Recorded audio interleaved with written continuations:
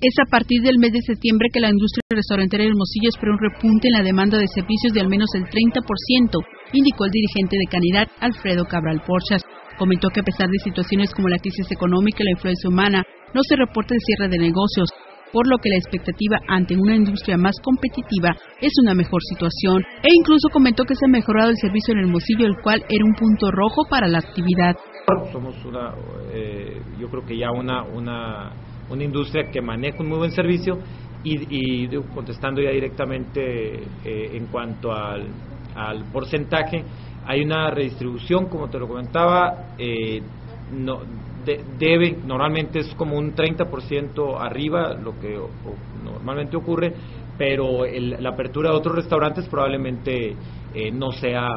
exacto este 30, ¿no? Yo creo que que, sí, sí se redistribuye el mercado, vamos a ponerlo así, pero más o menos en, esos estándares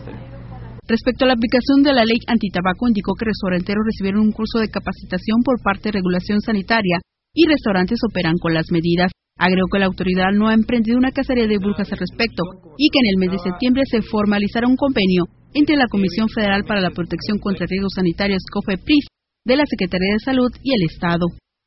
se está tratando de, ir eh, analizando cada uno de los, restaurantes, eh, provocando que ya se estén poniendo los letreros, que se esté concientizando a, la, población, que es lo más importante, y, hay un convenio que va a firmar COFEPRIS, que es la encargada eh, actualmente de revisar a todos los restaurantes del país, ya específicamente con el gobierno del Estado, eh, y, más o menos lo que nos mencionan ellos es que para septiembre ya está este convenio que ya los eh, los pues ya surtiría efecto para poder hacer las revisiones y ellos sancionar con imágenes de Alejandro Miramontes noticias Telemax Marta Gramón